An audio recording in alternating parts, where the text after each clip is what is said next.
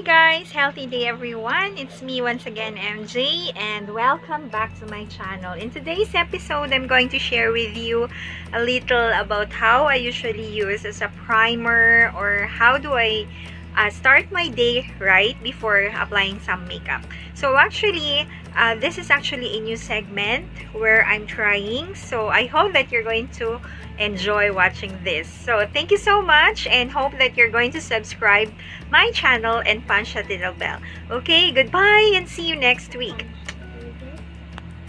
Okay, so anyway, we're going to start now and I will I'm happy to share with you um, may mga products ako na nakabili last week sa sa Watsons and I'm going to share with you.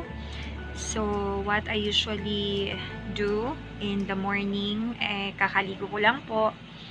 Okay so as we observe no during our younger years eh um, as far as I remember hindi kasi ako masyado uh, mabusisi sa face ko Unlike for my uh, previously, ang naalala ko sa mga classmates ko, as early as high school, they're already using products. No? So, on my part, medyo hindi ako ganon. I, I'm a performer dati nung college ako. I just usually, usually use makeup during activities or kung meron kaming mga performances, if we usually perform or kailangan talaga or sa mga pageant, pageant dati. Dati yun. okay? So, those were the times. So, ngayon, I'm already on my 40s and I just realized how important skincaring is. Because, kung hindi natin to aalagaan, so, what will happen to us in the future? So, once again, bale, uh, we're going to prepare this um, golden years na sinasabi natin, reaching the age of 50, na pag magsa-celebrate tayo and we're hoping that we have or we maintain that beauty in our face. No? So, anyway, um, let me share with you. Kasi ngayon, I am naturally, yung anong nakikita nyo ngayon is yun. Maybe maputi siya. Maybe because of this. Okay, so siguro ano siya, medyo maganda yung resolution niya. So this is just an ordinary phone. Mga estudyante nga, eh, halos magkaparehas lang kami ng phone na ginagamit. So, but I really love this because this is affordable at saka okay na siya sa akin. I don't give a mind buying one. Meron akong dati iPhone but I don't have, easy lang siya gamitin but not that important, okay? So, we're going to start now and I'm going to view, I'll let you see what I bought sa sa Watsons. Okay? So, I hope that you're going to comment down below. If not, try nyo na ba to? So, how did you find these products? Because I am new here at, at ipapakita ko sa inyo yung mga nagamit ko na or yung hindi ko pa nagagamit. Okay? Okay guys, alam nyo ba, nagvi-video ako tapos hindi pala yung recorded. Oh my God. Okay, so anyway, back ulit. Yun, ipakita ko sa inyo. I already used this. Okay, so this is from Lux Organic. This is 95, 98% aloe vera with vitamin C. Nahawiling ako dito, it's because sa aloe vera, I prefer products that are naturally from plant-made products rather than those with chemicals. Okay? So, and I also patronize products that are made by Filipinos. Yun. I'm proud to say that. Pero, meron naman akong mga products that I just want to try. Yung mga popular products. But, again, to tell you, baka hindi ko na nasabihan nung last video ko. Um, I don't usually use uh, products on my face during my younger years. At sinasabi ko sa inyo, I don't also use makeup. At nagme-makeup lang ako during the time na merong mga pageant-pageant, nung bata-bata pa ako. Okay, so those were the times na yun. But there was this, um, I happened to have these warts on my face because when you age, lumalabas na ito, mga discoloration, mga warts, meron yung mga puti, nakalimutan ko na anong term doon. So, in my next video, I will try to show you yung ginawa sa akin ni Dr. Cathy. Hi, Dr. Cathy. So, I hope that I can show you yung, uh, I hope I can make a vlog out of it. Pero wala akong coverage ng video. Eh, nahiya ako. But I will just show here a little segment kung anong ginawa niya sa, sa ano ko. Meron akong mga warts dito. And these are actually HPV human papillovirus. These are virus. So, you contracted this to people kung yung mga meron na. Okay? So, make sure na yung towels nyo, eh, sa inyo lang. Hindi to pwede shared. It can never be shared by anyone. So, tayo mga Filipinos, I know, no? Especially yung mga, mga pag teenager ka, hindi ka binibilhan ng mama mo ng towels, 'di ba? So, please make an effort na you need to separate your towels. Kung ano yung towel mo, huwag mong gamitin sa towel ng papa mo or ng mama mo. These are advices for teenagers, okay? Yun. And don't use shirts na hindi sa'yo. Yun. Yung maghihiraman kayo. Although, yes, sister, sister, hermana, hermana, diba? But, make sure na gamitin mo yung sayo lang talaga. Okay, so anyway, kung saan-saan na, hygienic na ang pinag-uusapan ko dito. But sige lang, that's, that's a nice topic. So anyway, this is from Lux Organic, Pashala-shala effect. This is actually, bale, one week ko na siya ginagamit and I feel so happy about it. Nagustuhan ko. Hmm? Hmm, shala-shala effect. And I hope na ipapakita ko sa inyo that after 2 weeks or how many weeks, sige, tingnan natin kung hindi madidistorbo ang ano ko.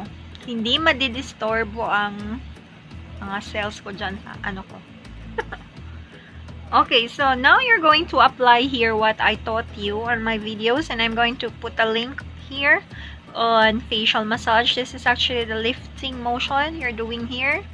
Kasi as you observe, itong part na to, this one, this is saggy. When you reach the age of 40s, ayan na, you need to prepare for your 50s. Kaya ngayon pa lang, nasa 40s na tayo, care of your skin. Mm -hmm. You can actually use this even kung may makeup ka na. Tapos gusto mong maging refresh pa rin ang face mo, you use that one. So, what I used last time, yung olive oil, kasi meron nagko-comment. Sabi nila, this is actually the first time I saw na nagumagamit ng olive oil. Eh, sabi ko sa kanila, did you know that olive oil are the usual main ingredients ng mga cosmetics natin? Like soap, like moisturizer, toners. You try to read, you try to learn how to read mga ingredients dito. Oo, so magaganda yun. So, yun.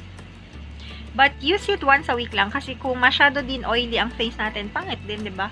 But it should be maintained moisturized. And again, one ad one advice that I can give you is please ano, um do not expose yourself to sunlight more than 25 minutes because that is ano na damaging to your skin. At ito pang mga mommies dyan, ito yung weakness natin, 'di ba? Sabihin nyo. Ayan nagba-black yan dito. Especially yung yung pregnant going nagdadala ng baby, 'di ba? Mm-hmm. When you're pregnant. Guys, um you know why I don't usually speak Tagalog? Eh kasi from I'm from Zamboanga City. And usually pag nagtatagalog kami, pinagtatawanan kami kasi when you say like example, the word G, the letter G, sometimes it sounds as k Tagalog. Like that. Mm -hmm. Okay, so now you can apply this or you can do massage only if you have time. Like ngayon, wala pa tayong ginagawa masyado. Okay, so on so forth. I will not show you kasi parang redundant na. Pero alam nyo naman yun, ba? So, sometimes I use this in the morning kung may time talaga. But I usually use this in the evening. So, you need to put this inside the refrigerator before you're going to use it or you're going to dip it sa cold water or sa ice water. So that when you apply this, there's this soothing effects that, that relaxes your muscles. And once you're going to do, do that lifting motion, there's the lifting effect. Okay? So next, um, what I do next after doing my facial massage is for me to apply now the the anti-aging cream. Ito. This is from Celetec. This is an anti-wrinkle collagen gel that hydrolyzed your skin. So, actually, maganda to siya kasi, wait lang ha. Hindi ako sanay na nag-vlog habang nag-makeup chuchu. Okay, so uh, let me put this here. Okay, so now, actually, I'm using this um, anti-wrinkle kasi, um, yun nga, we are trying to prevent ang mga ano natin, wrinkles, wrinkles dyan. So, after using this, or you can start with this one without this one, okay lang din siya. Kayo bahala. Okay? Mm -hmm. So, yun try using pa rin.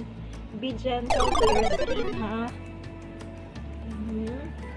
So, let me just show you kung ano yung usual routine na ginagawa ko when I go out. So, yun. Na-observe nyo, yung mata ko dito. That's the thing that i-challenge ko. Hindi ko alam kung paano ko yung tatanggalin. Okay. And then, after using this from Celatec, I use this sunscreen. Nagsa-sunscreen na tayo before we're going to use the toner. So, this is actually from Face and Body. This is SPF 50. Okay, so you can use 30 and above. Please always use sunscreen. Yun, kasi importante siya. And what I like most about this, ang amoy niya, parang citrus. Let's check kung anong meron dito. Mm -hmm. Wala namang nag-indicate na meron siyang parang orange. There. So, why do we need to use this um, parang sinasabi natin mga sunscreen? It's because, girl, dito sa Pilipinas, my God, kung lalabas ka sa bahay, te, yun, patay kang bata ka. You need to advise this especially to your kids, yung mga nagti-teenager. Learn to use. Pero you need to choose yung hindi masyadong yung, yung ano lang sa face nila, yung sa skin nila. Mm -hmm. There. Yun na. Then, Mmm, bara. Pareho pa rin ang mukha mo. Now, what you need to do is, yan na sinasabi ko sa inyo, I'm usual fan of Filipino products. Ito kay Doc Bello. Hi po, Doc Bello. Char. Sana makabigay ng incentive sa atin, ano? Pag naggaganito tayo. Okay, tap before use. Apply a small amount onto face and blend even with your fingers. Oh, ito ang primer mo, girl. Yan na, tumutok-tok na yung anak ko dito. ito, yan na. So, this will serve as your primer. Mm -hmm. Mm -hmm. Pero meron ding mga products talaga yung para sa mata lang. Okay. I'll be back. Okay, wait lang.